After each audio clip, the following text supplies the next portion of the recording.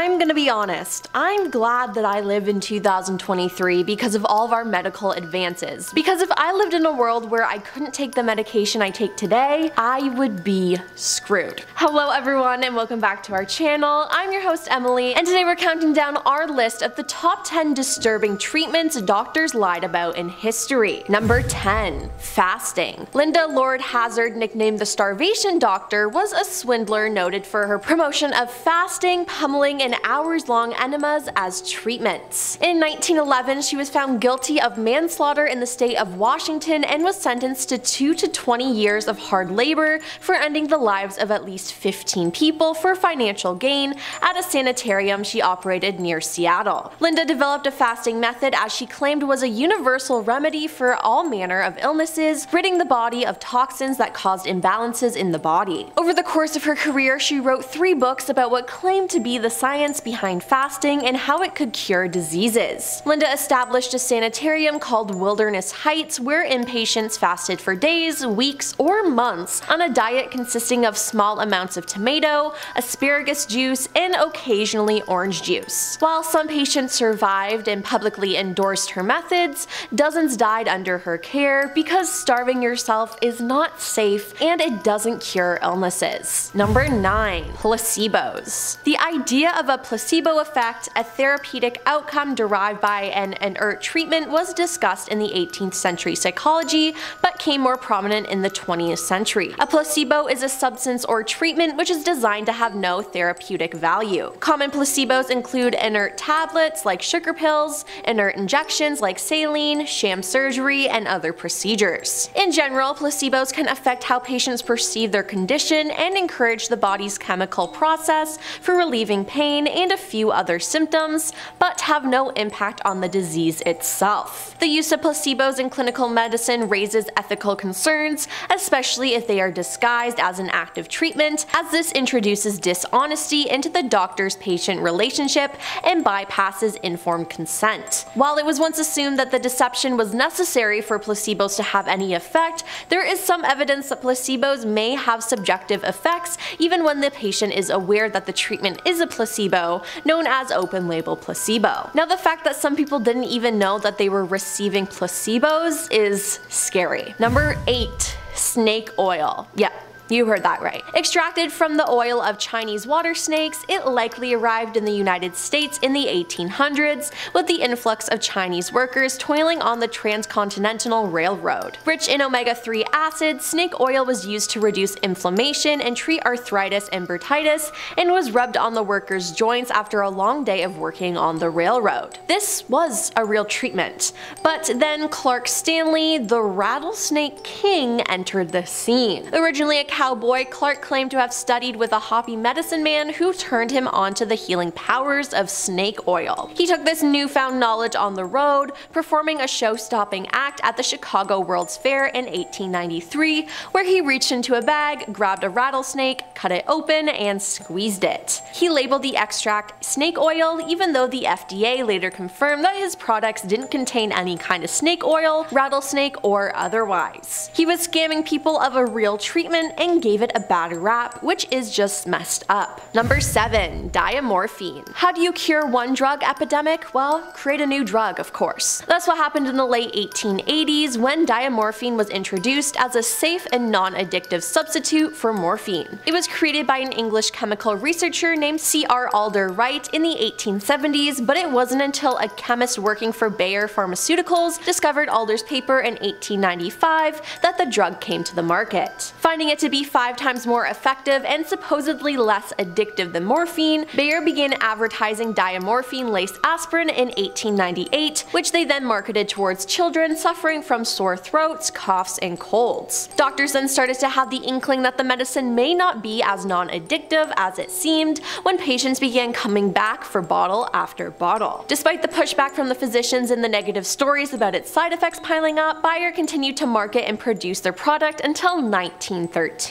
11 years later, the FDA banned diamorphine altogether. And if you don't know what diamorphine is, look it up and find its street name and this will make a lot more sense. Number 6 Fen-Phen. Fen-Phen was originally released into the market as two separate drugs, an appetite suppressant and an amphetamine. They were marketed as short-term diet aids but proved largely ineffective on their own. In the late 1970s, however, the two products were combined by Dr. Michael Weintraub to create what became known as Fen-Phen. The doctor conducted a single study with 121 patients over the course of four years. The patients, two-thirds of which were women, lost an average 30 pounds with seemingly no side effects, but the study didn't monitor the patients' hearts. The new miracle drug was first introduced into the market in 1992 and people could not get enough of it. Soon some 6 million Americans were using it. In April 1996, after a heated debate, the FDA agreed to approve the drug pending a one-year trial. Then almost immediately, reports of grave side effects started pouring in. That July, the Mayo Clinic said that 24 women taking Fen-Phen had developed serious heart valve abnormalities. Hundreds of more cases were reported, and by September 1997, the FDA had officially pulled Fen-Phen. To top it off, more than 50,000 liability lawsuits were filed in the years following its withdrawal from the market. Number 5. Conversion Therapy Conversion therapy is a pseudoscientific practice of attempting to change an individual's sexual orientation, gender identity, or gender expression to align with heterosexual and cisgender norms. Methods that have been used include forms of brain surgery, surgical or hormonal castration, adversive treatments such as electric shocks, nausea-inducing drugs, hypnosis, counseling, spiritual interventions, visualization, psychoanalysis, and sexual reconditioning. There's scientific consensus that conversion therapy is ineffective at changing a person's sexual orientation or gender identity, and that it frequently causes significant long-term psychological harm to the individual who undergoes it. Historically, conversion therapy was the treatment of choice for individuals who disclose same-sex attractions or inhibited gender nonconformity, which were formerly assumed to be pathologies by the medical establishment. An increasing number of jurisdictions around the world have passed laws against conversion therapy, as conversion therapy may constitute fraud and has been described by experts as torture, cruel, inhumane, or degrading treatment, and contrary to human rights. In some places in the world though, it's still used, which is horrible. Number 4 pelvic massage. In the 19th century, hysteria was believed to be caused by any number of sicknesses, including anxiety, irritability, sexual desire, insomnia, faintness, and bloated stomachs. So almost every woman showed some symptoms. The condition traced its roots back to the ancient medical theories about wandering wombs, where a displaced and discontented uterus caused a female ill health. The treatment, a pelvic massage that would induce hysterical paroxysm, leaving them sexually gratified. This was the job of Victorian doctors who manually massaged women, but in an effort to spare the doctors this work, one ingenious practitioner named Joseph Mortimer Granville created a steam-powered electromechanical medical instrument. Nicknamed the manipulator, the device allowed the women to give themselves home massages, allowing them to cure their wandering wombs, or so they say. Number 3.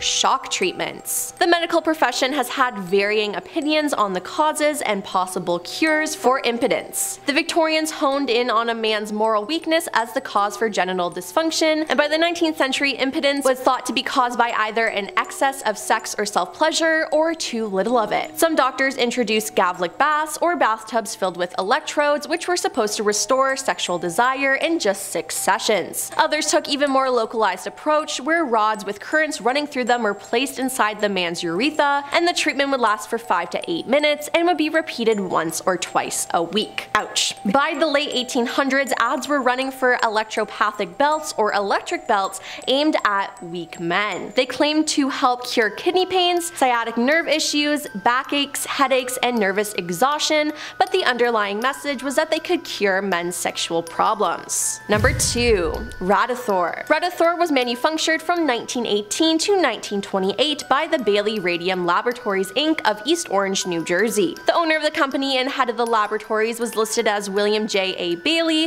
a dropout from Harvard College, who was not a medical doctor by the way. Radithor was advertised as a cure for the living dead as well as perpetual sunshine. The expensive product was claimed to cure impotence among other illnesses. It was a solution of radium and water which he claimed stimulated the endocrine system. The time of the Radithor and radioactive elixir ended in 1932 with the premature death of one of its most known users, Eben Byers, an American industrialist. Eben Byers was a wealthy American socialite, athlete, industrialist, and Yale College graduate, and was said to have died from radium poisoning in 1932. However, the real cause was various cancers, also as a result of the Radithor use. A Wall Street Journal article describing the incident was titled, The Radium Water Worked Fine Until His Jaw Came Off. Yep, his jaw, literally came off. This history led to the strengthening of regulatory control of pharmaceutical and radioactive products, thank God. And coming in at number one is lobotomies. Walter Freeman thought he found a way to alleviate the pain and distress of the mentally and emotionally ill, but instead he created one of history's most horrific medical treatments. Early versions of Walter's cure involved drilling holes in the top of his patient's skulls, and later involved into hammering an ice pick-like instrument through their eye sockets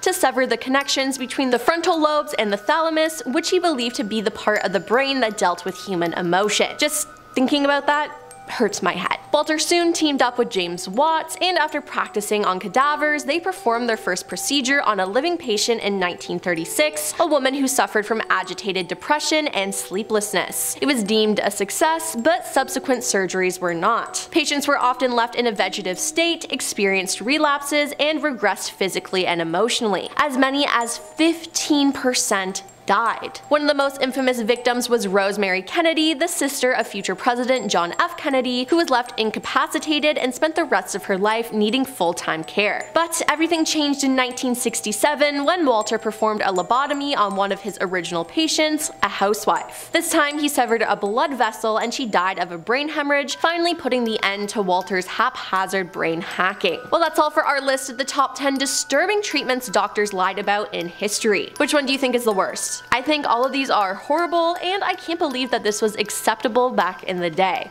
Uh, let us know your thoughts in the comments below and why not give us a like and subscribe. I'm your host Emily and I'll see you next time. Peace.